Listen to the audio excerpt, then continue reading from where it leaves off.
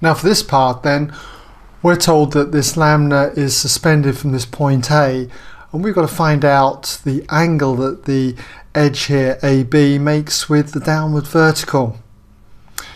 Now to appreciate problems like this you should be familiar with the fact that the centre of mass which we found out in the earlier part which was a distance of 61 27ths A away from this edge AE well you should be familiar with the fact that it always aligns itself directly below the point where you're suspending or hanging the lamina from. So the angle that we're looking at is, if I was to draw a line to there, would be this angle in here. I'll show you a little animation.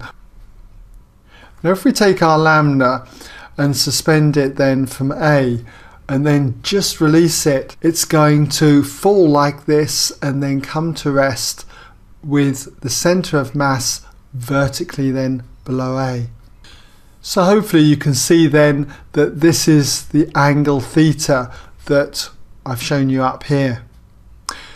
So to get this angle theta, all we need to do is just use basic trigonometry. We could draw a line from here, the center of mass, right up to that edge AB, makes a right angle triangle. And we've got this distance now, it's of length A. So we've got the opposite side and we've got the adjacent side. So we could say that tan of that angle, tan theta, equals the opposite, A, all divided by the adjacent side, 61 over 27A. And the A's cancel, leaving us with 1 there, and that just goes. So when you divide 1 by 61 over 27, it's going to give you 27 over 61. So therefore, to get theta, just take the inverse tan of both sides and you got 27 over 61.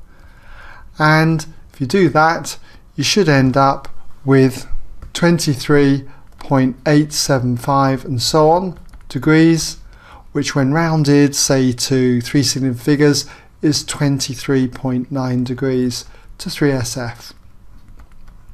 Okay,